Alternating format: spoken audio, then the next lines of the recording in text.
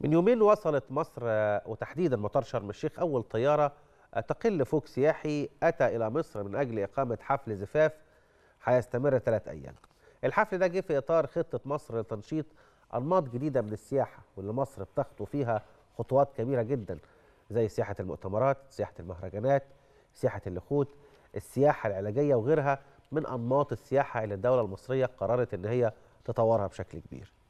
خلينا نتحدث مع الأستاذ علي غنيم عضو مجلس الاتحاد المصري للغرف السياحية عشان يعرفنا على هذا الأمر. صباح الخير يا فندم. صباح الخير وسهلا. أهلا بحضرتك خلينا نبدأ معاك من سياحة حفلات الزفاف اللي يمكن كتير مننا ما يعرفش أهميتها. يعني إحنا شفنا افتتاح مبهر في الأقصر مثلا وعرض أزياء وناس جت على متن طيارات خاصة وقعدت كذا وقت ومشيت تاني. الموضوع بيتكرر في صورة حفل زفاف. وبتأتي فيه جنسيات كتيرة جدا. كلمنا إزاي بنسوقه إزاي بنصنعه إزاي بنعمله وخصوصا ده يعني نوع جديد إحنا مش فاهمينه يا فندم. اولا التنويع في النمط السياحي ده بيزود طبعا اولا الاعداد السياحية الوافدة لمصر وزيادة الدخل القومي. أما بالنسبة للنمط اللي هو إقامة لحفلات الزواج حضرتك عارف إن الهند مشهورة جدا بإقامة الحفلات لأن الهند طبعا عندهم طبعا فئة قوية جدا غنية جدا وهي تستطيع أن تصرف وتتبتخ في البلاد زي كان تركيا والبلاد المحيطه بجانب بحر كنان إحنا طبعا نخوض هذه التجربة ونهدف إلى جذب هذه النمط من نوع السياحة ده بيديني واحد اولا زيادة عدد اثنين زيادة الدخل القومي ثلاثة الترويج لهذا النمط في مدينه أو في بلد الهند.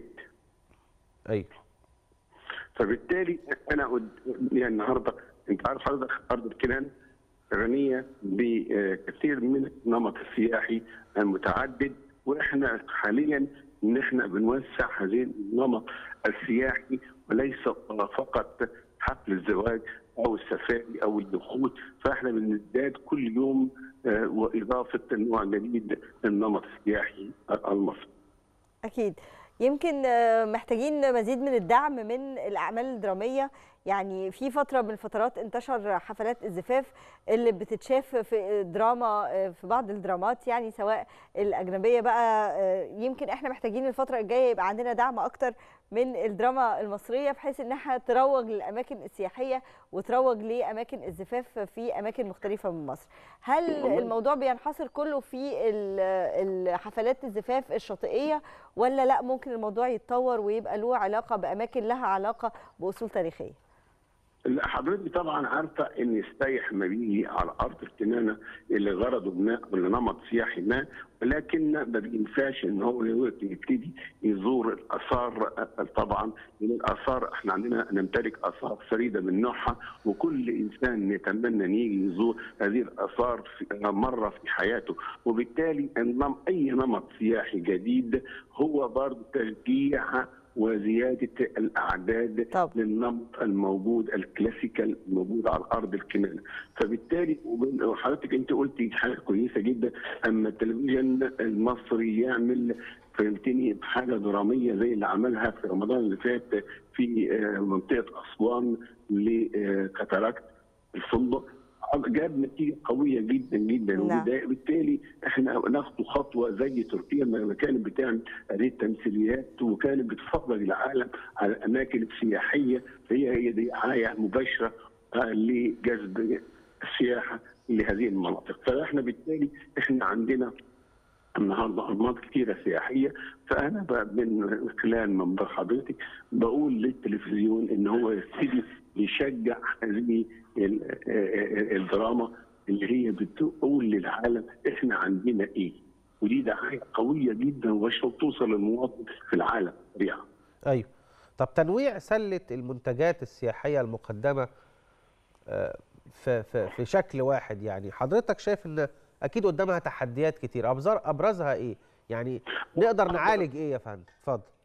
أبرز أبرز أبرز التحديات هي حضرتك لما بتكون عندك destination انت بتوسع فيها destination مع مناطق سياحيه جديدة فلا بد من وجود شكل شركة ناقلة قوية جدا تنقل لي هذه الأعداد.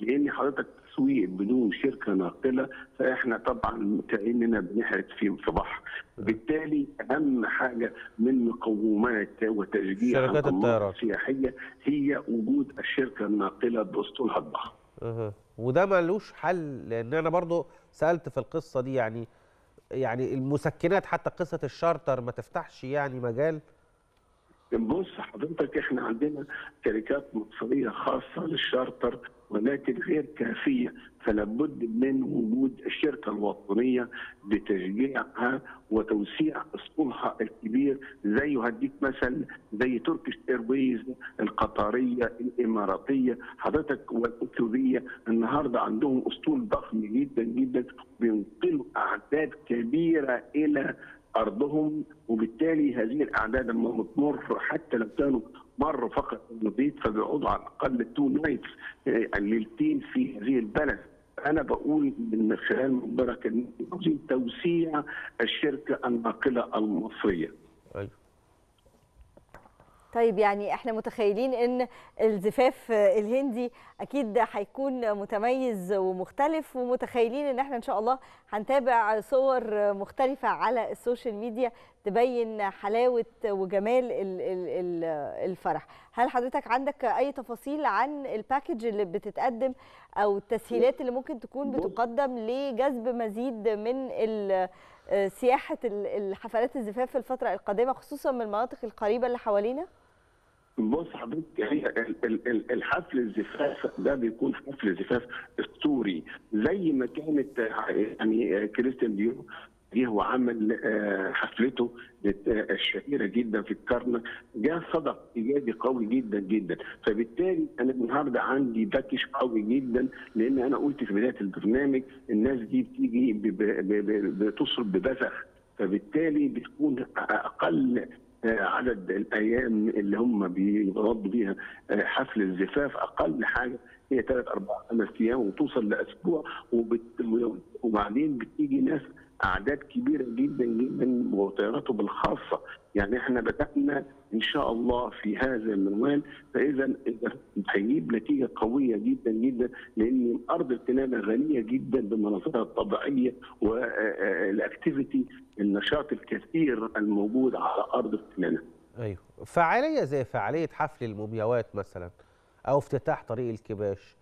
يعني إزاي ساهمت في جذب هؤلاء إلى الداخل المصري؟ هل عملت فعلا حاجة؟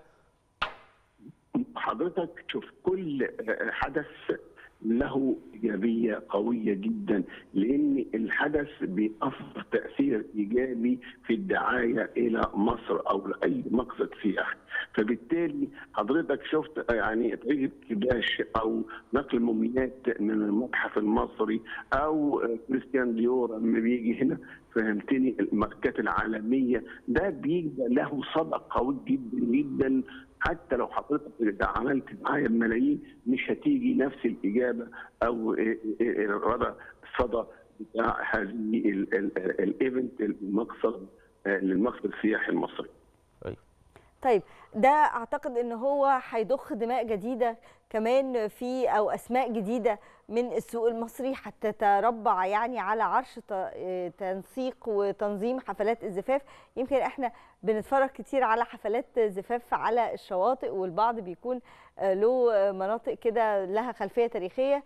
لكن ما فكرناش نستغل أو نروج للصحراء المصرية. إحنا عندنا مساحات صحاري واسعة بألوان صفراء جميلة ومتميزة. هل نقدر نفكر إن إحنا نعمل تدعيم للمنتج السياحي عندنا ونقول إن إحنا عندنا برضو آه، صحراء نقدر نستغلها بشكل أو بآخر؟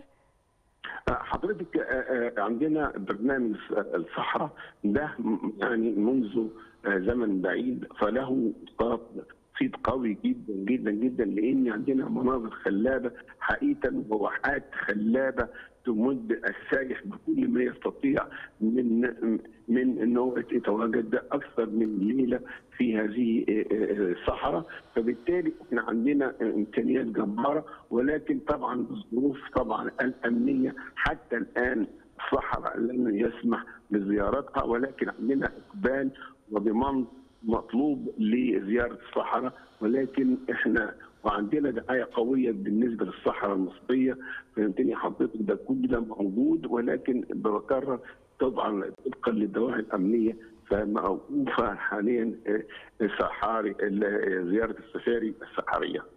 ونشكرك يا أستاذ علي أستاذ علي غنيم عضو مجلس الاتحاد المصري للغرف السياحية شكرا جزيلا لحضرتك.